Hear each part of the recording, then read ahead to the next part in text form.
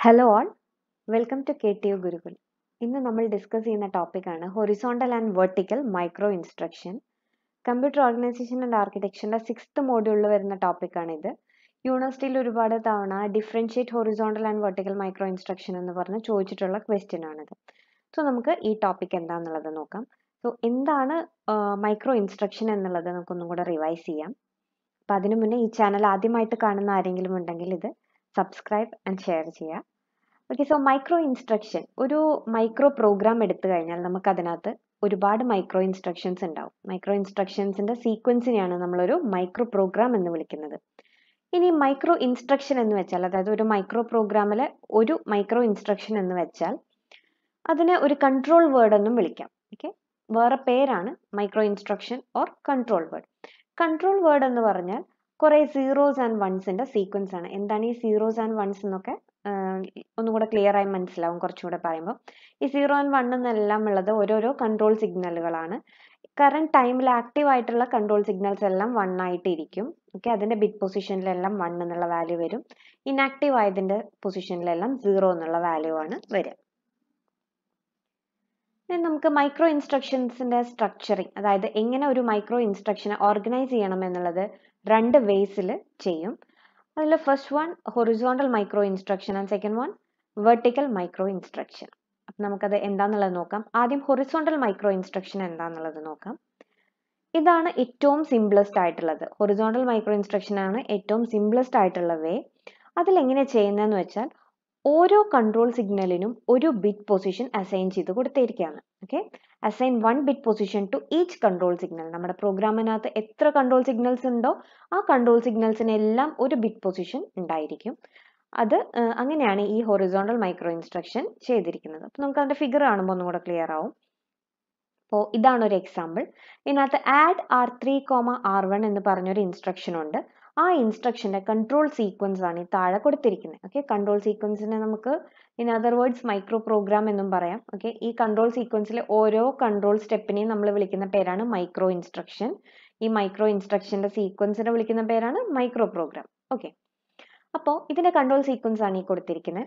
ഈ control സീക്വൻസിന് corresponding ആയിട്ട് ഇതിന്റെ മൈക്രോ പ്രോഗ്രാം ആണ് ഓർ മൈക്രോ ഇൻസ്ട്രക്ഷന്റെ സെറ്റ് മൈക്രോ പ്രോഗ്രാം ആണ് ഈ താഴെ കൊടുത്തിരിക്കുന്നത്. ഇതെന്താണെന്നുള്ളത് നമുക്ക് നോക്കാം.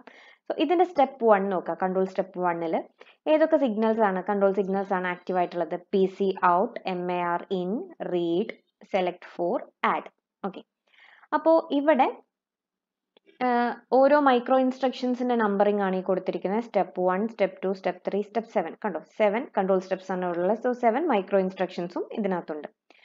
ഇനി ഇവിടെ ഈ കോളത്തിൽ കൊടുത്തിരിക്കുന്നത് ഓരോരോ കൺട്രോൾ സിഗ്നൽസ് ആണ്. P C in P C out M A R in read add etcetera okay അപ്പോൾ എത്ര നമ്മുടെ മൈക്രോ പ്രോഗ്രാമിനകത്ത് എത്ര കൺട്രോൾ സിഗ്നൽസ് വരുന്നോ ആ ഓരോ കൺട്രോൾ സിഗ്നലിനും വേണ്ടിയിട്ട് ഒരു കോളം അസൈൻ ചെയ്യേണ്ടി വരും ഈ ഫോർമാറ്റിൽ ഓക്കെ ഇനി ഇതെങ്ങനെയാ നോക്കാം? സ്റ്റെപ്പ് വണ്ണിൽ P C out M A R in read select four and add ഇത്രയും ഈ അഞ്ച് സിഗ്നൽസ് കൺട്രോൾ സിഗ്നൽസ് ആണ് സ്റ്റെപ്പ് വണ്ണിലുള്ളത് അപ്പോൾ നമുക്ക് മൈക്രോ ഇൻസ്ട്രക്ഷൻ വണ്ണ് നോക്കാം.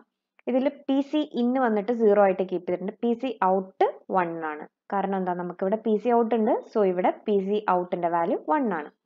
Then M A R in ഉണ്ട് ഇവിടെ. സോ എം എ ആർ ഇന്നിന്റെ വാല്യൂ വൺ ആണ്.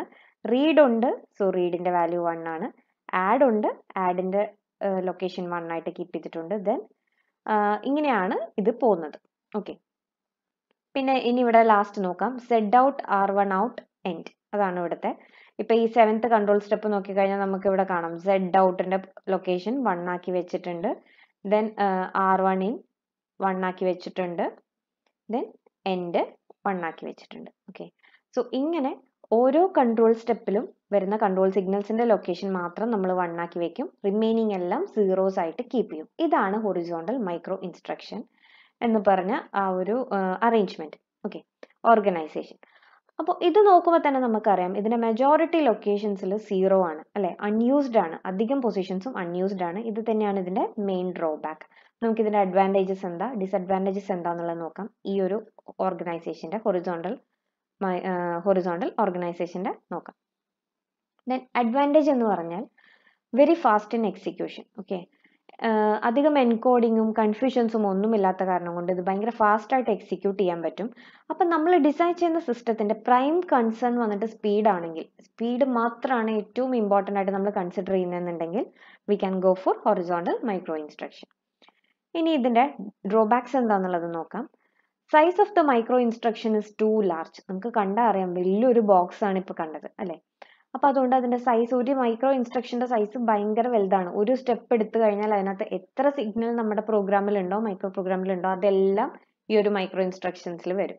അതിൽ മെജോറിറ്റി വന്നിട്ട് സീറോ ആണ് വാല്യൂ വരുന്നത്. ഓക്കെ അതിന്റെ സോ സൈസ് വലിയൊരു ഫാക്ടറാണ് സൈസ് ടു ലാർജ് ആണ്.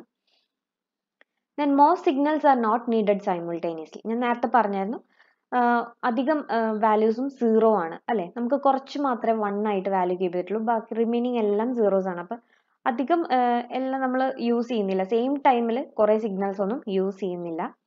Many signals are mutually exclusive mutually exclusive എന്ന് പറഞ്ഞാൽ എന്താ? ഒരേ ടൈമിൽ വർക്ക് ചെയ്യാൻ പറ്റാത്തത്.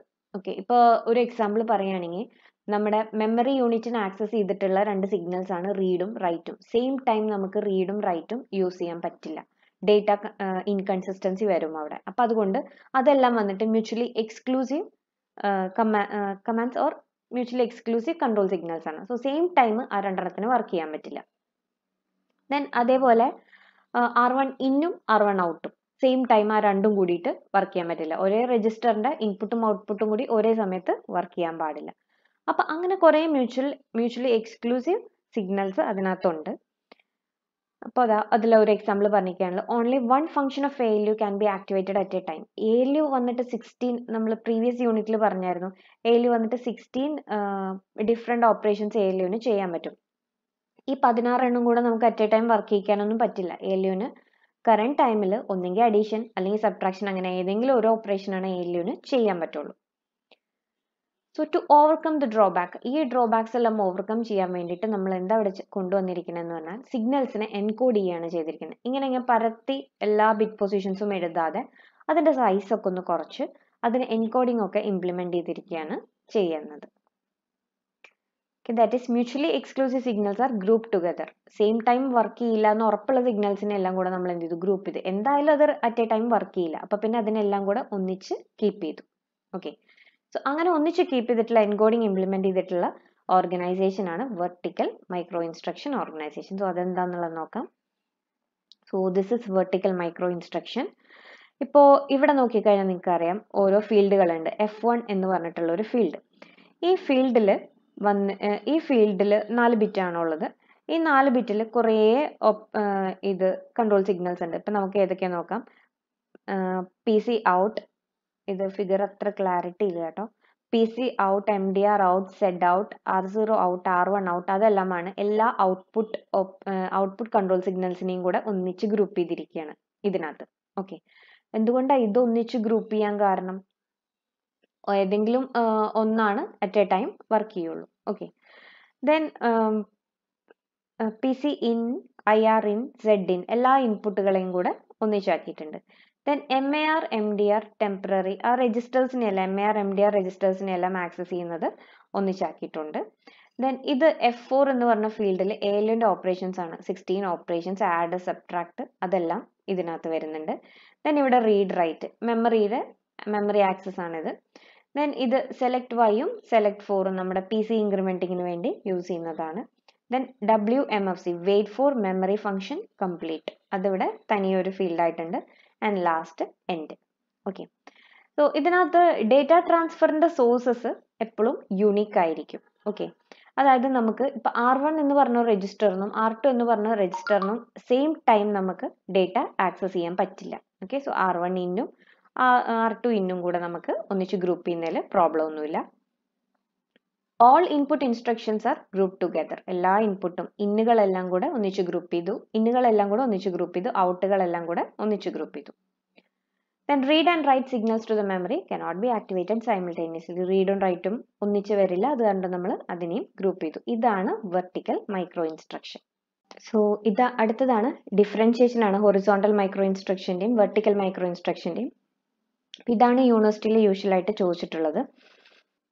അപ്പോൾ ഇതിനകത്ത് ഹൊറിസോണ്ടൽ മൈക്രോ ഇൻസ്ട്രക്ഷൻസിൽ വന്നിട്ട് മിനിമൽ എൻകോഡിംഗ് ആണ്. മിനിമൽ എൻകോഡിംഗ് എന്ന് പറയുമ്പോൾ നമുക്കറിയാം ഇതിൽ തീരെ എൻകോഡിംഗ് ഇല്ല. കാരണം ഓരോ ബിറ്റുകളും ഓരോ കൺട്രോൾ സിഗ്നലിലും നമ്മൾ ഒരു ബിറ്റ് റിസർവ് ചെയ്ത് വെച്ചിരിക്കുക തന്നെയാണ് ഇതിനകത്ത്.